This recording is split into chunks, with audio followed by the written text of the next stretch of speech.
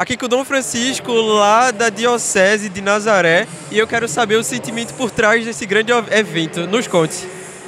É um sentimento de muita alegria, já que recebemos o nono metropolita, arcebispo metropolitano da Arquidiocese de Olinda e Recife, que é a Diocese de Nazaré e Pernambuco é sufragânea é, da Arquidiocese de Olinda e Recife. Assim estamos é, com muita alegria, rendendo graças a Deus por receber o nosso novo metropolita, Dom Paulo Jackson.